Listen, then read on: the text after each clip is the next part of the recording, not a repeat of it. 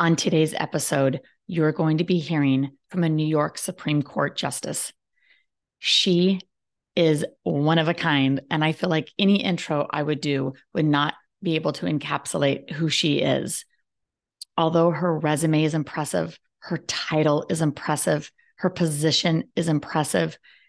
The way she can walk into a room and light it up is like no other. She's going to be sharing how she went from a shy little girl in Puerto Rico, hoping to become a flight attendant, to making it through college, not knowing English, to falling in love with law and her windy road all the way to the bench. She's going to be sharing how to build that confidence that it took to keep moving forward one step at a time. She's going to be sharing how she overcame fear and how she had to stay mentally strong. She's going to be able to help you today from wherever you're at right now and wherever you want to go. She will give you tools to absolutely get there. Please welcome to the show, Judge Evelyn Laporte. Welcome to the show, Judge Laporte. I'm so excited to have you here and thank you for dealing with all the technical difficulties to get you here. Thank you so much, Autumn. It is a pleasure and an honor to be here spending this afternoon or this evening with you. So, when I met you a few weeks ago, I thought, oh my gosh, this woman is living her life alive. But not only is that important to be on the show, but you help other people do the same thing with your experience, your story, your journey. And as we were talking, you were sharing everything from childhood stories to, you know, climbing, what you had to do to become a judge, and then like what's next for you. So I'm so excited to dive in. But you shared a story about looking at a magazine when you were a little girl. So can you just give us a little background about your age, where you were in the world, and kind of like bring us back to that little girl who that who who you were and your dreams at that time? Absolutely. My mom was a domestic um, woman working for rich people, cleaning houses and cooking for them. And after they discarded the magazines, she will bring them home. And I will look through these magazines, and I was attracted to these um, ads and pages and commercials about the airlines advertising, um, you know, people to get uh, and use their airlines. And I used to see these the stewardess. Back then they used to call it stewardess. Now they are yes. flight attendants. And i fell in love with the uniforms and the colors. They used to wear gloves and hats and they look so gorgeous. And i said to myself after looking and looking after you know all these pictures i said to myself i'm going to be one of those. I'm going to be one of them. And i want to be a flight attendant. And i came to new york for that purpose after i completed one year of college for that reason and at that purpose uh, to be a flight attendant. That's such an amazing story. So, from that little girl that just told yourself, like, this is what I'm going to do, was it just your voice that you've heard throughout the years, or who really inspired you to believe in yourself to think that you could do whatever you wanted to do? My father. And I still hear that soft, sweet voice oh. of my dad that used to tell him, and let me tell you, Autumn, I come from a very humble beginnings background. My mom was a domestic uh, woman cleaning, as I said before. My father mm-hmm. was a sugarcane worker all his life. I grew up without a TV, without a telephone, without a mm-hmm. refrigerator, came to my life later on part of the electricity came back to my life later on mm-hmm. as a mm-hmm. young adult. And I did not grow up with a lot of things, technologies, and a lot of things that we take, uh, uh, that we yeah. enjoy today. But my father always told me if in order for you to get out of this life and do mm-hmm. better, you have to go to school and educate yourself and do better so you could get a good job later on and support yourself and have a better life. My father's vision of a better life was and a better job was becoming a teacher at that time teacher yeah. and nurses that's what i love teachers and nurses so much because they work so hard and i have a lot of respect for yes. them but my mind was on the magazine's picture uh, pictures, oh, and I wanted to be a flight attendant. Don't get me wrong. I, at one point, I thought about yes, becoming a teacher, but I wanted it to be a flight attendant instead. Well, and back then, I had this conversation with a young twenty-year-old today. Back then, you know, women were thought it would be great if you could be a secretary, a nurse, a teacher. Yes. And so those are really our you know were choices and now it's like endless choices i think so many choices that people have a harder time deciding so as your dad's voice stayed in your head and still here today that you could do it obviously you never saw yourself as a judge not until not not that long ago so from attorney to judge i know you shared the story about the process becoming a judge but what did it take for you from that little girl that had to tell herself how did you implement that same thing from being an attorney to all of a sudden making the decision to go for it? How did that voice play out? And did you just tell yourself you're going to do it, or did you just try and hope for the best? Or how did that happen internally for you? Well, I never had the opportunity to have a mentor or a mm. coach or a, a, someone that could tell me guide me and take me by the hand it was as i said before my father's voice because he wanted it to do better and um, don't get me wrong i'm very proud of where i come from yes but it's always room for improvement. And uh, after a year and a half of college in Puerto Rico, then I decided to come to New York and fulfill my dream in becoming a flight attendant. But guess what? I went to interviews and I did not know English. So I think that I wasn't hired because of my lack of English language or skills. Then I decided to return to school back it was college in order for me to learn english so i could fulfill my dream of becoming a flight attendant but it took me a long time to learn the english language and in the meantime uh, while in college, I came across classes that interest me mm-hmm. and um, guide me and led me into the field of law. And at one point, attending while attending college, I decided I don't know where it came from. I cannot explain, but I was interested in it and I decided that I was going to become a lawyer and put the idea of being a flight attendant in the back of my head. I said, I could always be a flight attendant. I'll come back right. to it later. but let me go to law school. And let me tell you, it was very hard because I was still dealing with the English language. My English wasn't that great. I was I, I, was hardly really speaking because um it takes time and I was yes. only speaking English at in school in my home and uh, with my friends i was speaking mm-hmm. spanish so it took me a long time and then going to law school is another type of language lingo that you have to learn but I just decided that I was going to do it. I didn't know about motivation. I didn't know about self esteem, low esteem. I didn't know about confidence. I didn't know about none of those words, but I guess they were in me. I just didn't know about them.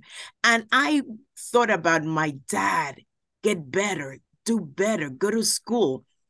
That's how I ended up going to law school and then after going to law school, which was another hardship and another set of um uh, um uh, I will say troubles in finishing law school. Um, I was an attorney for 18 for 18 years in New York. And um, in 2004, I decided once again, heard my dad's voice, do better and I went to become a judge and I applied, I went for it. It wasn't easy. No. Once again, but I did it. And you know what? Sometimes you have to take chances on them. You have to yes. go with your heart.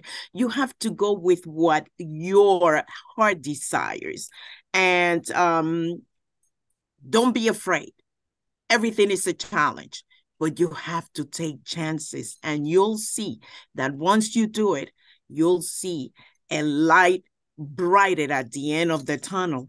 And I love, I enjoy being a judge. I enjoy being an attorney. Um, my life has been with full of difficulties, but I am so happy and honored that I have been able to given the opportunity to become whatever I wanted in life. And you ask me, well, what's your next chapter? I'm going into public speaking, Autumn. I'm That's going right. To, this is not the end of me. This is going to be a transition. I'm about to retire, and I'm looking forward becoming a um, a professional public speaker.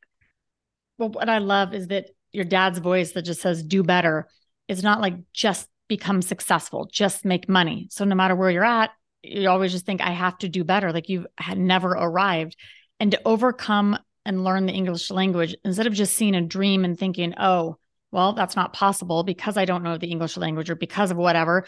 You said, okay, I'm going to go work on that. And then you'd hit another obstacle and like, I'm going to go work on that. And you could have been easy, like, look at me, I'm an attorney, maybe someday a flight attendant, but I'm an attorney right now and I'm doing amazing. And that's it. You have success and that's good. And to say, you know what, I can do better you know, called for more, listening to yourself to say, to me, it's that inner whisper, rather it comes from yourself or the divine, or to say, you do more. For me, there's the reason we're hearing that, rather you want to call it intuition, or I call it the nudge to kind of nudge you, like, why were you just maybe you were content being a judge, but why, you know, with that little whisper, that thing that said, come on, come on, you can do it, you can become a judge. And then everyone just kept talking about it. And all of a sudden you see the signs everywhere. To me, that is because it is about you but even more importantly it's about the ripple effect it's the it's the impact that you had and have from that from the bench that you you never could have or seen before that but you followed that and it takes a lot to follow that there's a lot of people that feel that but just like you said you you're scared and you still had to do that so what is it when you're scared to do something that just kind of pushes you forward because a lot of people are feeling that like I should do better. Maybe they're already successful, have the house, drive the cars, or maybe they're 20 years old, flopping all over. Like, I, I don't know what I'm supposed to be doing, but what is it that makes you go for it?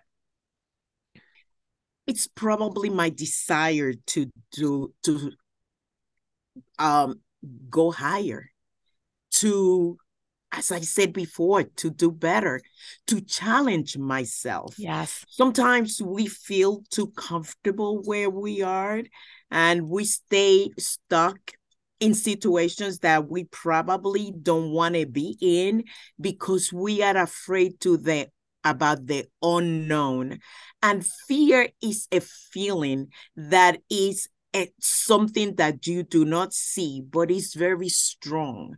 And sometimes you just have to tell yourself, nothing is going to stop me from accomplishing what I want, whatever it is, whether it's a in a relationship that you're in, whether mm-hmm. it's something that you want to do for your children, with yourself, yes. learn how to cook, be a writer, uh, whatever it is that you want to do in your life, don't be afraid because once you get it done, once you make the first step, which is what I learned every time I completed yes. a step.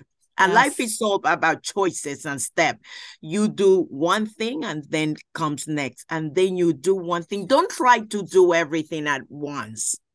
Just take it one step at a time and it will get you higher. So the reason why I decided to take all those steps, even though I was afraid, is because mm-hmm. fear wasn't going to stop me. That's and I right. have a lot of challenges in my life. No money to go to school, college, or anything. I said, I have no money. The banks do.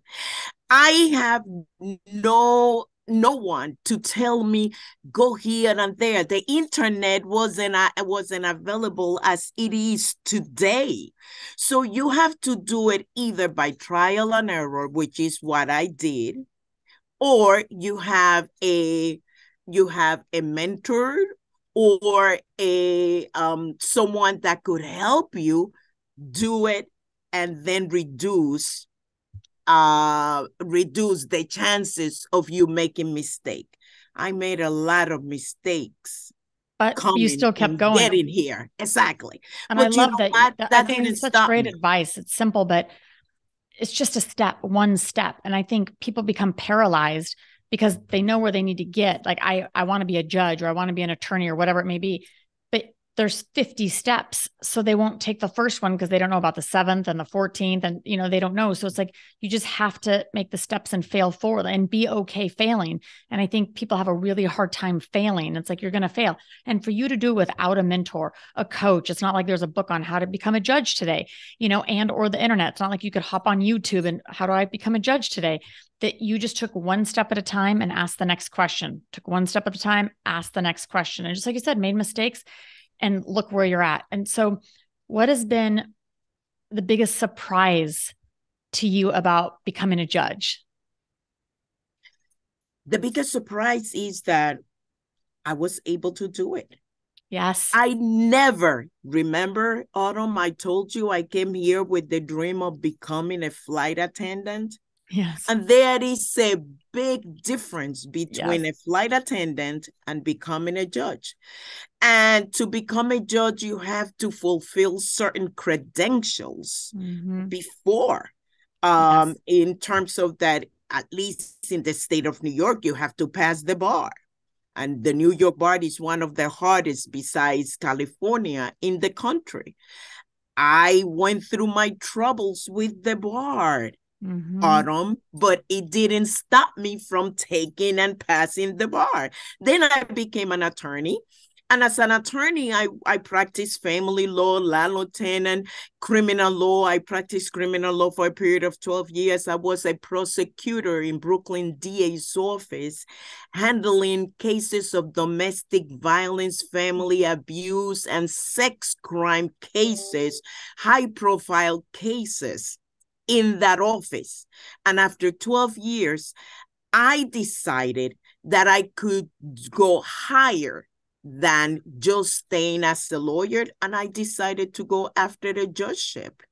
Now, in order for me to get to becoming a judge, it was a process of me building confidence because I mm-hmm. was very shy. I I'm going to tell you, I grew up as a very shy person. I will not speak, participate on anything in my school, in in in in church. That's amazing. I I was not a big speaker, not a big. Uh, uh, I didn't participate in much of anything. I was behind the scene, and building up uh, uh, confidence took me a while and nobody told me and explained to me anything of this.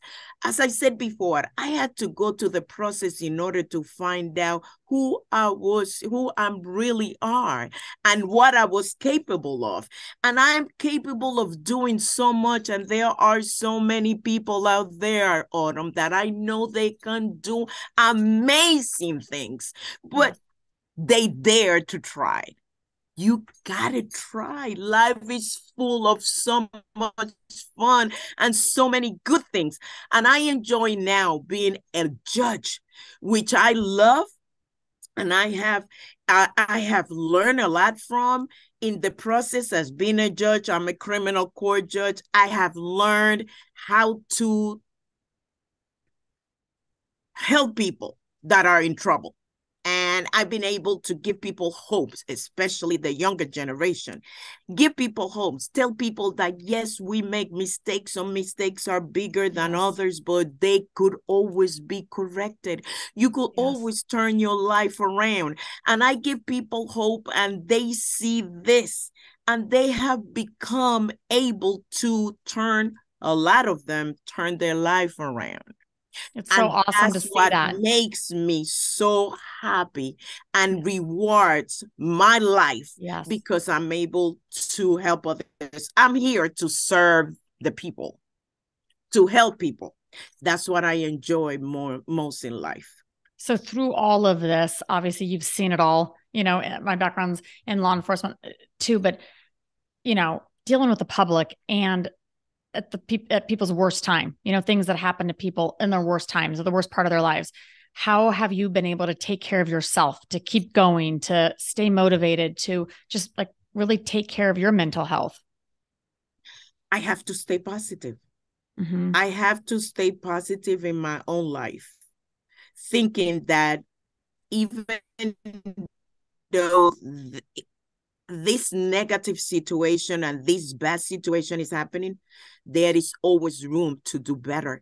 I read a lot of motivational books that keeps me Mhm. going.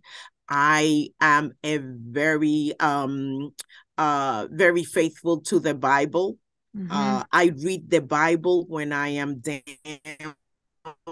and when I am in my height. The Bible gives me a lot of support. I I try to speak to people about things that are positive. I stay around people that are positive. So all those things, and I look at Yes. life in a positive way. Well, And you I absolutely turn, do. yeah, because you I, I just could walk in and you are such a light to the world. And I listened to this podcast yesterday about negativity and just, you know, it spreads like cancer, it gets in roots and it just feeds off of each other. And one person that can walk in the room that's positive, that's a light, that says, you know what, I don't have time for that. Like, I, I don't think I could ever be negative around you because you're just like, you don't have time. You are on to bigger and better things. And, you know, it doesn't mean people don't have down times. Sure, there's been down times or dark times for you, but to be able to say, okay, what is it that keeps me lifted up? Because we have to do it for ourselves. But you are such a light in the world. And imagine being a light in your position versus not being a light in your position and the impact that has on other people. So thank you for sharing that. And the other thing that I'm so taken back by is that you're always willing to reinvent yourself to go to that higher level. And you are getting ready to retire, which is so amazing. But tell us about reinventing yourself. Like when you've been working for so long for the state of New York and then what? Like, uh, uh, does it feel weird to be kind of towards the end of that, or what's that feeling like?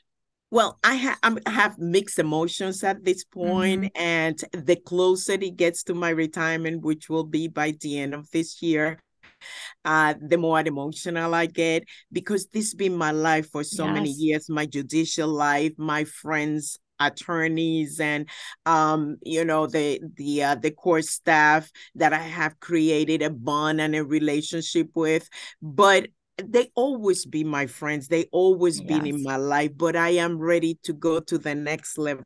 I'm always looking for challenges and new things. Um, so now, because remember, I told you that I was a shy person. Yes. I want to tell the world that even though when you're shy, you could overcome your shyness. Even though you are uncertain, you could overcome that. You could overcome your fears and do better and become bigger and amazing. So I want to share my message with the world and give the world motivation, hope, and um, to let people know that it doesn't matter what you go through. You could still do well and come back out as a winner. It depends how much you want to invest and how far you want to go. So I'm going into public speaking. I'm very So exciting. excited about it. I can't wait to get into my next chapter. I don't know what else God has and the future has out there for me, but I'm ready, Autumn. I'm ready for whatever.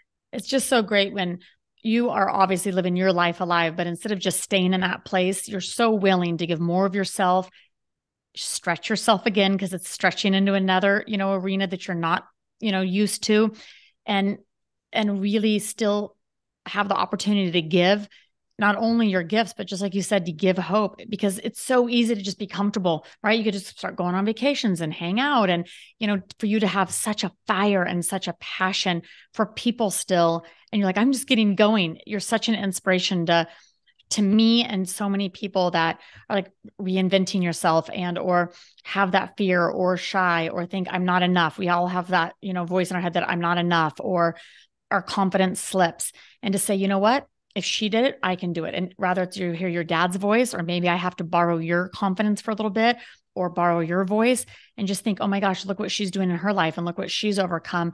And to really borrow that, that belief and borrow that confidence And that's okay if I have to borrow it for a little bit or somebody has to borrow because that's that's called being human is that we're supposed to be able to hold each other's hand and or just from your words of your mouth spreading that hope and giving that hand up to people there are so many people out in the world waiting for you for that public speaking thing that I know you are just going to shower with love and hope and inspiration. And I think it's different with just when people just talk words, right? Just, oh, be that, do that, read this book. But when somebody's walked it, and not only have you walked it in the past, you continue to stretch yourself, you continue to push yourself instead of just saying, okay, I've arrived here and I'm done and I'm good, I'm going to go home. It just it shows you have such a heart for people and serving people. I just cannot wait to see what you do next. Thank you, Autumn. Thank you so much for your support. And um, I'm looking forward to my new career. I'm just, I'm saying to people, I'm not retiring. I'm just transitioning to something right. else, which is what I'm doing right now. I don't think I will be able to retire with all this energy and all this, um, you know, um, care and I love that I have for people to help people. And I know there are a lot of people out there that are in pain, that are insecure, yes. that uh, they don't know what to do. They don't have a um they don't have anyone to go to and share what they are mm-hmm. going through. Um I could do that. I could do that in a bigger platform so people can have hopes and can have as inspiration and be motivated to do better because yes we can always do what we want to do as long as we're ready to do it. The sky as we said is the limit. That's awesome. And i feel like the people you're going to speak to not only are you going to help people become super successful in their own lives or their own careers but you're going to save lives just from spreading that hope of just having somebody that's been in a place of struggle or darkness or no confidence or shy or not seeing a way and then just saying look you know you can do it one step at a time right? One step at a mm-hmm. time. And so leave us with one tool of how we can implement something to build confidence. Rather i'm shy or i think i should be further along in life or i'm you know, I, I have, I have, ne- maybe I've never had success in my life, or I've not been modeled it, or I've, I don't have people that believe in me. What's one thing that I could implement to build that confidence in myself? You just said it on the your last word. Believe in yourself. That's the first thing people need to do. I didn't believe in myself for a long time, and no believing in myself blocked my mind to see mm-hmm. life in a different way in a different light. And because I was concerned about what people were saying and thinking mm-hmm. about me, I was not concentrated on my on my skills on what I was able to do and accomplish. But once I began to believe in myself and I closed my eyes and my ears to all that negative information, yes. I started to accelerate and be become better and better and go to places. Even though autumn my times I have to make hard decisions to kind of like shut down and away people that are negative, were negative in my life, including family members and mm-hmm. friends. Sometimes we have to do that for yes. a while. Um, and then come back to them later. I had to do that for a while while I was accomplishing what I wanted in life because those voices could bring you right. down and could could cause you not to think that you're able to do it but you have to believe in yourself you have to tell yourself yes I can do it and yes, I will do it because I have the strength and the energy and the will and the skills. And what you don't know, you learn. That's right. There's you can learn it. You can learn it anywhere right now. You can anywhere. learn Stanford, anything. Harvard has free classes. YouTube, everybody, you know, you can learn anything. But I love what you said is that you turned off the outside, you know, negativity and noise, but you focused on what you could do, a skill. And I think that some people think, well, I don't have any skills. Well, if I look around to everybody else, I don't have I, I don't have skills that match up to everybody else. I don't have to because I'm not everybody else. I'm myself. And so my my best skill might be listening it might be cleaning. It might be math. It might be speaking. It might, but I just have to focus on that one thing. And I think even more I, I, believe it's harder than ever because i mean i literally can pick up this phone scroll and in about 30 seconds i'm not feeling good about myself and especially for the younger generations they just don't you know it's uh, how many likes did i get how many people commented you know i wonder who likes me who's talking bad about me and it's like just turn that off and focus on what you are good at because none of those people are paying your bills or paying for your college or those people are going to be long gone soon and I don't need to compare myself to anybody because I'm I'm just supposed to do what I'm supposed to do. Thank goodness God made us all different, right? So I can have an accountant and a dentist and a nurse and I don't I can't be like all those people. I, I'm glad they have different skills than me. But I do need to focus my responsibility is focusing on me and building my confidence so I can be the best me. And that's just what you've done such a great job of of of absolutely building that con- that self-confidence because it's I don't think it's easy to do and you just kept pushing and kept pushing and look where you're at. So such an exciting place for you to be and reinvent. So thank you so much for your time judge. We just I know you're very very busy and you are such a light in the world to me and to so many other people and I can just I just see the ripple effects right now and everything, not only what you've done, but what you're going to be doing. So I just cannot wait. Thank you so much for your time. And thank you so much for the invitation. I'm delighted. And so obviously Judge doesn't have a lot of social media as far as following. I know I'm going to get messages like, I want to follow you. I want to follow her. But she has a wait list for an email as she will start doing newsletters and speaking engagements. So if you want to be part of that wait list to get on her email list, um, I will put her email in the show notes so you can just email her and say please put me on the your email list. And as she retires we can all celebrate her together and cannot wait to what's next. So watch for that email. And um, i am going to wrap this up by saying to a step at a time and always go bigger because you're just such a great example of that Thank you, Autumn. And good night to your audience. And love to you and to all your yes, audience and listeners. You, thank you so much. Thank you, Judge.